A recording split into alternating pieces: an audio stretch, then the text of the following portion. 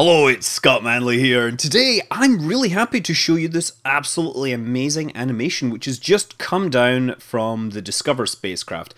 Now, the DSCOVR spacecraft, if you don't know, it was launched uh, about three, four months ago by the by SpaceX on a Falcon 9, and it made its way out to the L1 point, which is the point in space between the Earth and the Sun where the gravity and the rotational forces just cancel out, and you can kind of balance a spacecraft there and have it sitting forever looking at the Earth uh, fully illuminated by the sun. And the idea, one of the main motivations to do this was so that you could have a camera pointed at the Earth always and always see the daytime of the uh, daytime side of the Earth. There's a camera called the the Earth uh, polychromatic imaging camera. That's it. Yes, I was forgetting what it was called there. EPIC epic, right? So people see uh, they published this video today, and it was an epic view of the Earth with the moon passing in front of it, and that's the that's the best thing because th this shows us so much. Okay.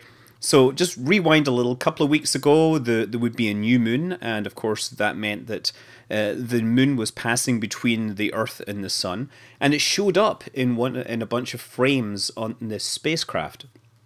Now the camera has uh, 10 different frequency bands, it has 10 different sets of filters, so it takes all of those, but they could take the red, green and blue and assemble a nice color image showing the moon, you know, stepping across the disk of the, the Earth, and it's absolutely hypnotic to watch this thing.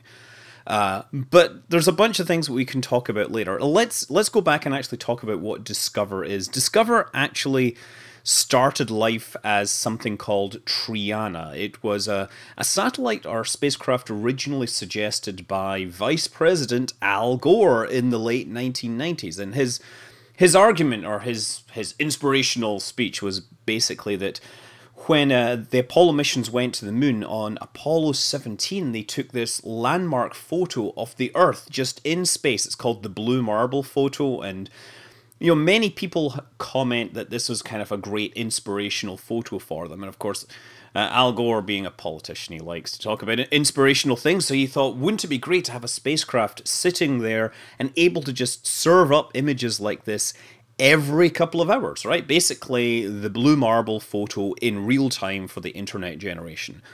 Now, they wanted to obviously do a little more than that, so the science team kind of got to work. What could you put on a satellite that was sitting out there? And they wanted to do like a whole Earth albedo system, so they would measure how much light was going in, how much light was coming out, and all these other things. And eventually, they they got the satellite built. It was scheduled to be launched, and then, well, then what happened was the political uh, wheels turned. Uh, George Bush, Republican, came to power, and the mission was shelved. Basically, it had been called GoreSat too much, so I think it was just felt that perhaps it was politically uh, unwise to spend money launching a spacecraft. So it, it basically sat in a warehouse for about the next decade. And then 2011 rolls around, and well, a campaign has has been running to get the spacecraft repurposed or get it relaunched. And uh, they they did another study and they realized, well, you've got this spacecraft. It's just sitting in a warehouse. It's you know solid piece of technology. They could update a bunch of the electronics. They could add some new sensors to it. And one of the things that had come up as being interesting was putting a spacecraft between the sun and the earth that would actually look at the magnetic field of plasma coming in plasma from solar flares and coronal mass ejections because uh, when we see these flares and these mass ejections and stuff coming in, it would be nice to get a little bit of warning because some of these things can really slam into the Earth's magnetosphere really hard. They can cause power grids and stuff to go a little crazy. So there's actually strategic value in knowing what is coming from the sun. So this spacecraft could just sit there and de deliver all this data. That's what it was designed to do.